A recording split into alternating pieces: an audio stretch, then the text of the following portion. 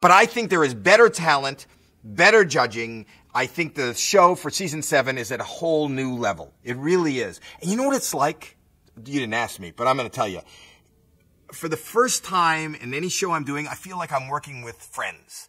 You know, I've known Howard for a long time and I, and I love Sharon and I love how, and we sit like they sit at home on a couch.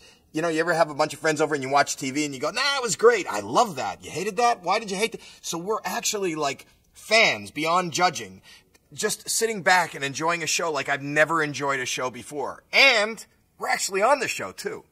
So it's a twofer when I heard that there was, when I got an inkling that Howard Stern was going to join the show, I can't tell you how excited I was. But because this is an interview, I'm going to tell you. I was very, very, very excited because number one, I get to work with a friend. Number two, I can't tell you how much respect. Well, I'm going to tell you because it's an interview. I have incredible respect for him. He's been in the business for over 30 years. He's marketed himself. He's the, you know, he's, he's brought radio, a whole medium to a level like it's never been done before. And, uh, he's honest and I think that's what works for him and he's edgy and I think he'll bring a whole new audience that hasn't been watching the show before. There's, there's only an upside to have Howard Stern join the judging table.